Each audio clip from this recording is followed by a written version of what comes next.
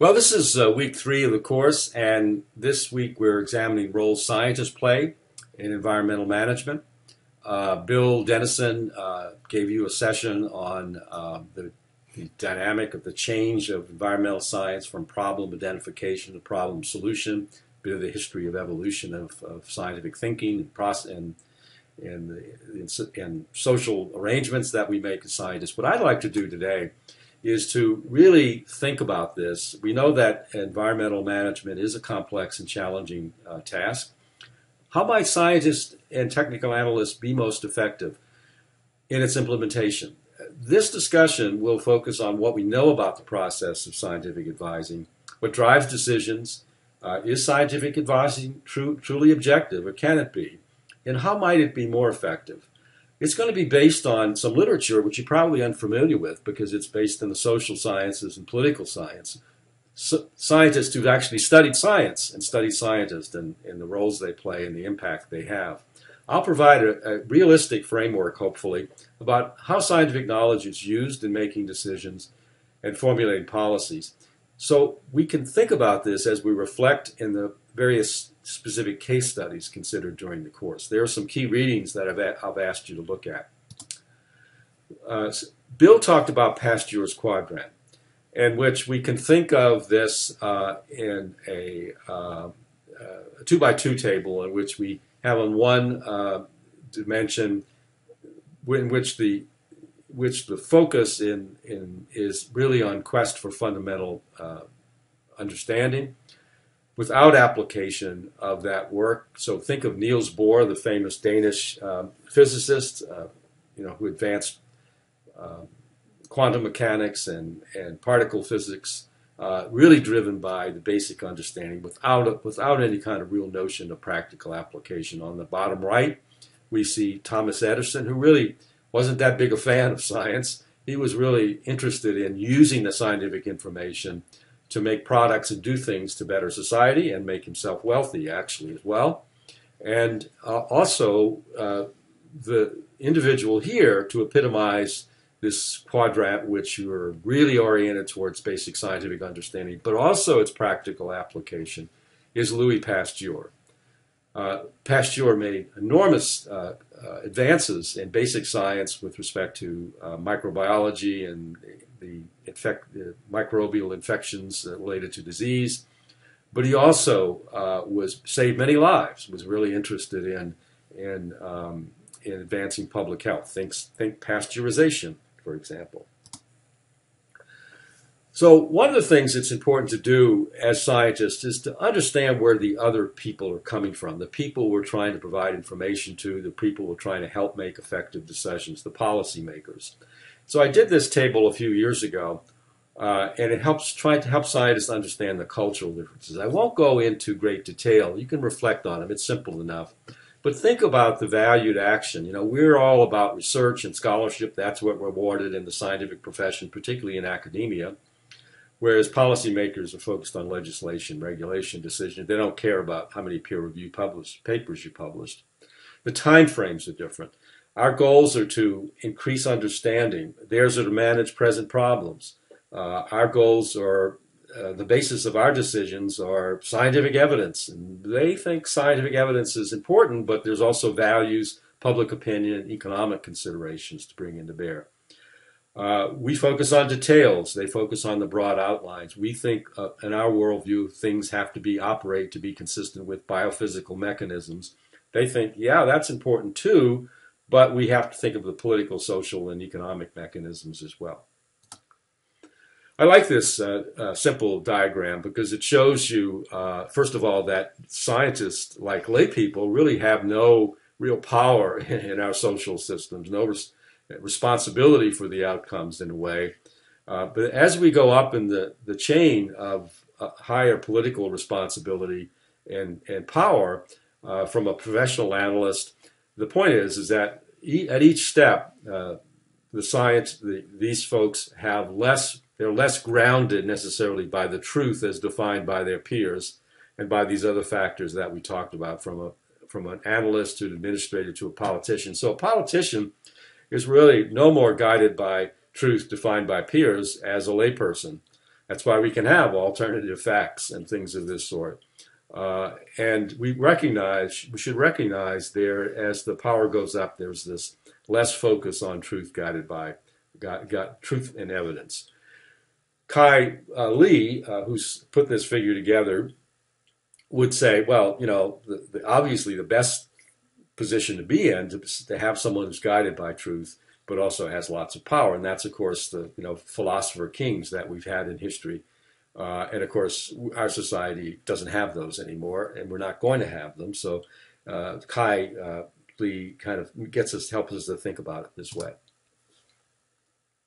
So we need to think that scientists providing advice don't work. It's a team sport, really. And that we, the way this works is not just individual scientists, but groups of scientists. So one way, of course, is is the, the, the power of consensus, where there's a scientific consensus uh, that can't be easily uh, denied.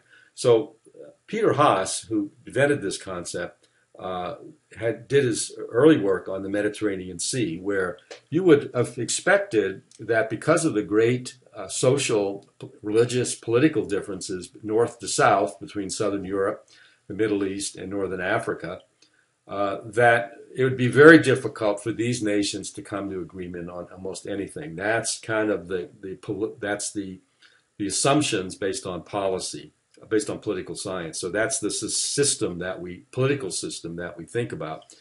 But what he found was that they came to an agreement on a Mediterranean action plan to improve the quality of the Mediterranean because the scientists were, they had this strong scientific consensus among their national scientists. Many of these scientists had been trained in Southern Europe. You know, they, they, they had, you know, focus on many of the, the values that we hold dear in science. And so they came to consensus and basically forced these North South nations, Muslim, Christian uh, uh, democracies, uh, and those that weren't, to, to come to an agreement on this because that's what the that's what the scientists were were were, uh, were saying. On the other hand, the North Sea, common culture, good you know of scientific culture, good common political culture, and and Haas, uh, in his analysis, said the similar agreement in the North Sea, science really didn't have that much of an effect. It really was the political dynamics between the more progressive nations, Denmark and Germany, who were into the green movement, uh, that really prevailed uh, and forced the laggard nations, the UK in particular, to come along with the with the agreement. It wasn't driven by science; it was driven by those political dynamics. So another way in which we work in groups is not with just among scientists, but among people who we others we work with. So you can imagine we um, we know people who work in the agencies, uh, who are policymakers, uh, who come from the various sectors that are involved, fishermen, or uh, for example, and even journalists that we talk to and work with, and what Sabatier calls advocacy coalitions. So scientists work through these coalitions because we share the same basic beliefs and critical perceptions, causal relationships, and the common goals. And it's really through this that we can be powerful as scientists. Well, whether you believe uh, that epi- epi- the power of epistemic communities or advocacy, co- advocacy coalitions, personally, I think they're both are important. The fact is, the role scientists play have both professional and normative, that is, value decisions, and that the thought that we are just independent, purist driven snow scientists who are just giving you the truth, it has to be thought through. So, this idea of the independence, the autonomous domain of science here is called the realist view, in which we're clearly separated from social interference and political power uh, and that our duty as experts is to bring just the facts to bear on the processes of political evaluation and to keep public actions from falling prey to passion and irrationality. Um, that uh, this and, and, our real positivism, logical positivism, is really based upon uh, the principles and values of science itself, experiments, uh, basic research, peer review, has to be moderated. Uh, based on what we just mentioned. And a person who's written quite a bit about this is Sheila Jasanoff, a political scientist.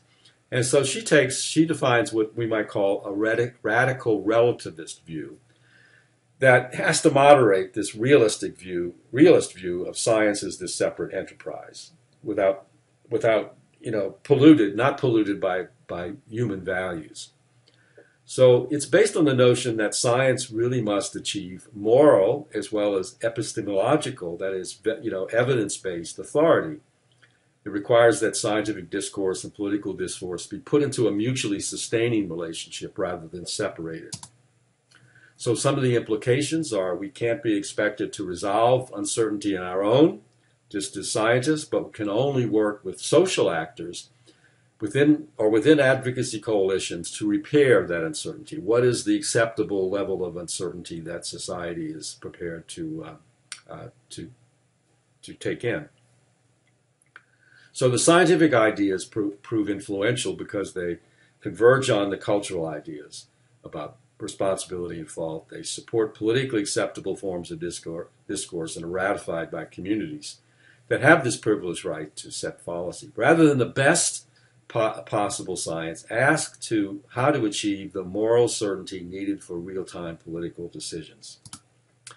Carrying this idea of scientists always having can't be separating themselves from their own values uh, is the work of Roger Pielke, another political science scientist from the University of Colorado. Uh, and he's written extensively about this, but most importantly, I want to refer you to this book, The Honest Broker. We have an excerpt in the readings uh, for you. And he again looks at this two by two table in a little different way. He thinks of of the, the the dimensions of this is depending on your view of democracy. Are we all about fighting to, and whoever has the most votes uh, can prevail? Uh, are we about um, uh, you know the conflict of ideas in a society that together makes collective effective decisions? And then also, how does this system? How does this work? Or, or am I, as a scientist, handing it off to my program manager in an agency who's advising the secretary of the agency, who's advising the governor, this linear model? Or is it much more complex? Do we work through these advocacy coalitions? to fact that I, as a scientist, talk to the media have an effect on this process. This is the stakeholder model. So he, he would put the role that scientists play in one of these four boxes. One, pure scientist, again, think Neil, Neil Bohr. Uh, yes, I'm going to just do my research. Uh, if you want to see what I've done here, I'll shove under the door reprints. And if it's useful, great. If it's not, it's my research. Uh, on the other hand, we could think of, uh, if we think of this, look, look at this interest group, pluralism idea, the value of demo- view of democracy. We have issue advocates. So their scientists work for Chesapeake Bay Foundation or the National Resources Defense Council or the American Farm Bureau Federation or uh, uh, you know, Constellation Energy Corporation. These are all advocating for certain positions they want to achieve and and the role those scientists play is to make the case scientifically uh, uh, to, toward those objectives. Uh, science arbitrators uh, can help take scientific information, translate it, help people work through what it means, uh, and uh, resolve some conflicts, inconsistencies in the science. But what he argues is that we need more honest brokers, that is, scientists who work with decision makers, don't tell them what to do, but help them think through the consequences of their choices. He admits, uh, and, and, I urge you, if you're interested in learning about this more, to watch this speech he gave, a 30 minute uh, speech uh, on the YouTube video. He admits that it's not as simple, that we scientists can play roles in more of these, and that the role of an honest broker is not as, as uh, easily compelling as we might indicate, but it's an interesting thing to, uh, to think about. So, Pielke has become, although I think this is a valuable contribution, a controversial figure because he's taken this idea of science, there's no such thing as objective science, we all have values to a high level. And he's been used, in my opinion, by the climate change denial community uh, to kind of cast doubt on a lot of uh, the objectivity of scientists. Um, in fact, uh, Sheila Jasanoff, who we just talked about, has, a, and it's in the uh, supplemental reading, an interesting critique of Pielke's book, The Honest Broker, that if you're interested, you should look at. So finally, let me just think about, put this in the context of the biggest issue we're talking about today, climate change. And I think many of you have kind of followed this in one level, one level or another. So I've just put some prominent scientists out here who are involved in these issues, uh, and I've kind of arranged them. Uh, it's not strictly linear, but from the most activist, Jim Hansen, who was uh, who was who's a, a, a, lead scientist in NASA, who was uh, uh, muzzled when he was in, in, in NASA and during the Bush administration, couldn't speak to Congress, and since retired, has become a very activist voice involved in protests, being arrested, and advocating for really dramatic uh, changes and decarbonization of our of our world. Michael Mann, now very prominent, was under intense uh, uh, political attack for his work about on uh, the paleoclimatology, that this hockey stick hockey stick diagram you might be aware of, showing the increase in temperature uh, over longer periods of time. Now very activist, uh, very much of an activist as well. Ben Santer, who's kind of less activist than that, but very sincere scientist who works on on attribution. How do we know that the changes we're seeing can be attributed to CO2 or uh, greenhouse gas built up? Uh, works in a federal laboratory, so he's you know susceptible um, uh, to the political uh, changes, wind, uh, ch- political winds of change, and but yet uh, he he wrote a very public. Um, open letter to, pre- to President-elect Trump when earlier last month uh, to urging him to pay uh, careful attention to climate change. Susan Solomon, very uh, uh renowned uh, uh, climate climatologist as well, who I was on a committee with, the National Academy Committee with, and she's such a purist about carefully worded and don't overstep our boundaries as scientists that we had one uh, statement that that climate change is an urgent problem, something like that. And which she said, I can't agree to that. Urgent is just goes too far. That's putting our own values into it. So she threatened to resign from the committee. So I had the job of kind of keeping her on the on the team. So I sought a synonym. I said, Susan, how about if it's a pressing problem? She said, Oh, I can go with that. So shows shows you the care. Pielke we talked about, and then uh, another person in the news recently is Judith Curry. One of the very small number of climatologists, I mean credentialed climatologists who have you know published papers who's in the skeptic community, just recently announced that she was going to, she's had it with, you know, with academia and the research community.